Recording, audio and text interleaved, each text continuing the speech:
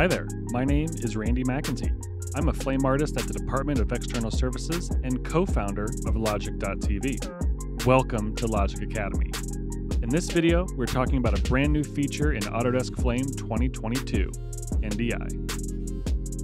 NDI, or Network Device Interface, is a software standard that makes it super easy to deliver and receive HD video over computer networks. It's like SDI, but over Ethernet. It's a welcome feature that allows us to distribute broadcast video from remote workstations, whether they are in the cloud or on premise. In this video, I'll focus on the initial setup and share a few easy and inexpensive ways to enrich your Flame suite. Before we dive in, thanks to Autodesk for sponsoring this video. Let's go. First, we need to download NDI tools. As of July 2021, Flame 2022 and Flame 2022.1 support NDI tools version 4.6. Recently, NewTek, the makers of NDI, launched NDI Tools version 5. This version is not yet supported in Flame. Now, I had a hard time finding an official download link from NDI with version 4.6 after they released version 5, so I made one for you. Visit the forums at the link below for Windows and Mac versions of NDI Tools version 4.6. If you've already downloaded NDI Tools version 5 and need to roll back to version 4.6, no worries. Just install version 5 and visit this link for versions 4.6. Now we can launch the Autodesk Flame 2022 setup application and configure Flame to output broadcast video and audio over NDI. When you first launch Flame Setup, be sure you're modifying the correct software version and be sure you have opened the Flame Setup application that corresponds to Flame 2022 or higher. Under the Video and Audio devices, choose NDI and click Apply.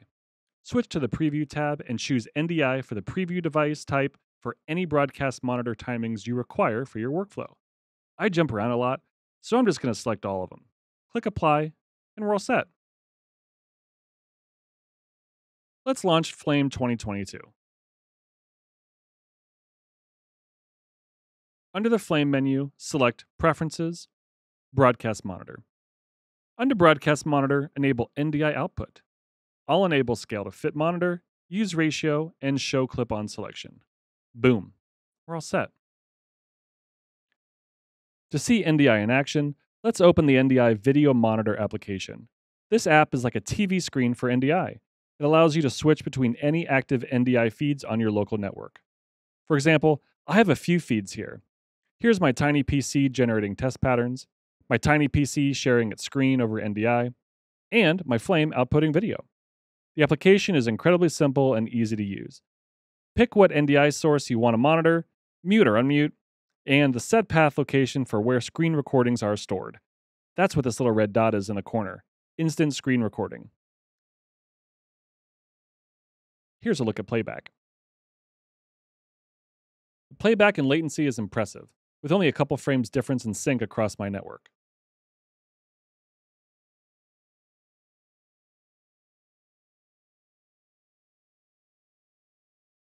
If you'd like to monitor your audio locally as well as through NDI, here's how I do it.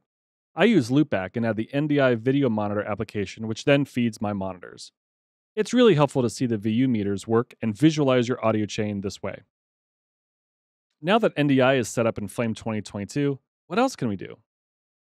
With the NDI Virtual Webcam app, you can choose to capture any NDI feed and redistribute it over Zoom, Google Meets, Skype, Microsoft Teams, just like it was a webcam.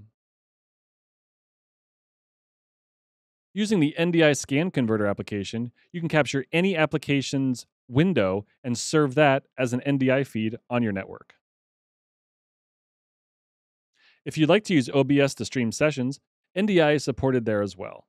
Be sure to use an OBS version that supports more than two channels of audio, like Streamlabs OBS, shown here, or OBS Studio Music Edition that supports 16 channels of audio.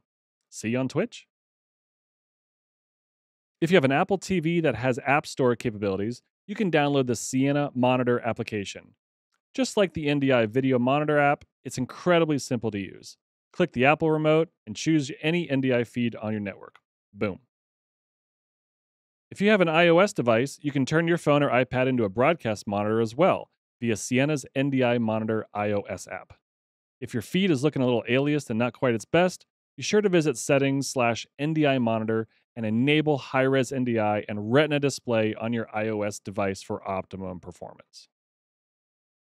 And finally, a favorite of mine, Nobe Omniscope now supports NDI inputs and delivers an inexpensive yet robust suite of completely customizable scopes and layouts that are super impressive.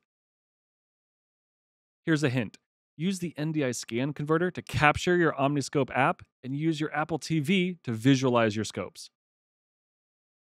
If you want to pick and mix between NDI and SDI, then BirdDog has a ton of great products that allow you to mix in a little NDI within your existing SDI infrastructure. Well, there you have it NDI Tools in Flame 2022. If you have any questions or comments, look me up on the forums at forum.logik.tv. If you enjoyed this Logik Academy, let us know. And if there's something you'd like to see, be sure to drop us a line. I'm Randy McEntee, and you're watching Logik.